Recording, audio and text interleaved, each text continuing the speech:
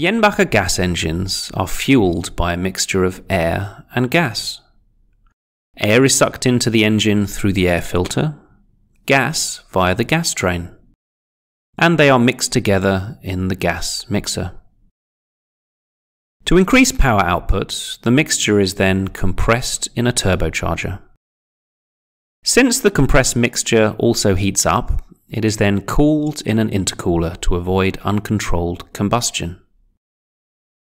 It then passes through the throttle valve, which, like the accelerator pedal on a car, helps control the amount of mixture entering the inlet manifold and the individual combustion chambers.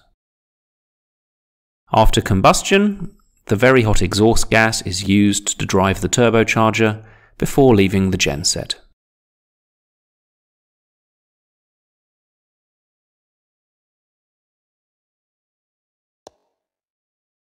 When air and gas are combusted, heat is released.